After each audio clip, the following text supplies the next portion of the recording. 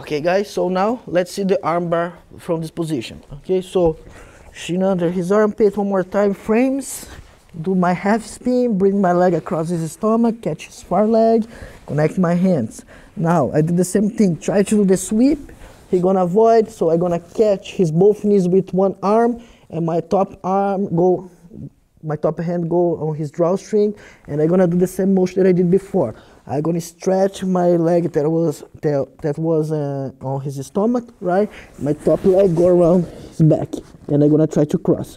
Now my opponent gonna try to avoid, try to bring his arm kind of close to, try to just face me. Yes, try to face me, right? So I'm gonna try to catch his wrist under my armpit, and I'm gonna hold his elbow and pass my shin on top of his neck, and finish on the arm. Other option that you can have here is one of my opponent try to use the hand on the ground to face me. And I'm gonna catch his arm, pass my shin one more time over his neck and finish on the arm. Okay, so one more time.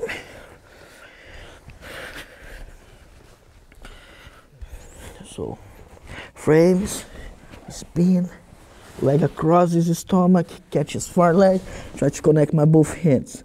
Now bring him sideways, Okay, he gonna avoid, I'm gonna catch his both legs with one of my hands, right, to do, a grip on his pants, and catch his drawstring with the other. Stretch the leg that was on his stomach, and try to catch, kind of do a lock here.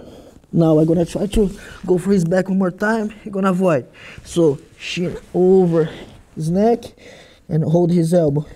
If he bring his arm on the ground, catch his elbow, shin one more time over his neck, spin, slide my elbow to his wrist and finish on the arm.